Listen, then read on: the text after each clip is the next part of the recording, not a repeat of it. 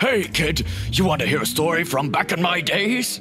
Yes, Pop, come on. Listen, kid, when I was young, I played this game of pen and paper. Of course, you didn't have electricity back then. Very funny, kid. I'll show you how a classic old school RPG comes to modern consoles. In this game, you can choose among lots of interesting characters. You could even be a delivery guy. Say what? I get to eat pizza?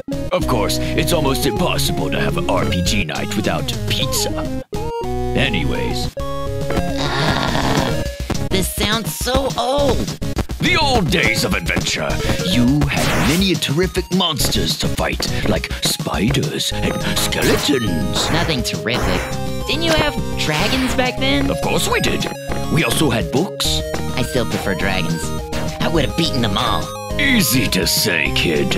But would you be brave enough? Give me paddle, Pop. I'll show you.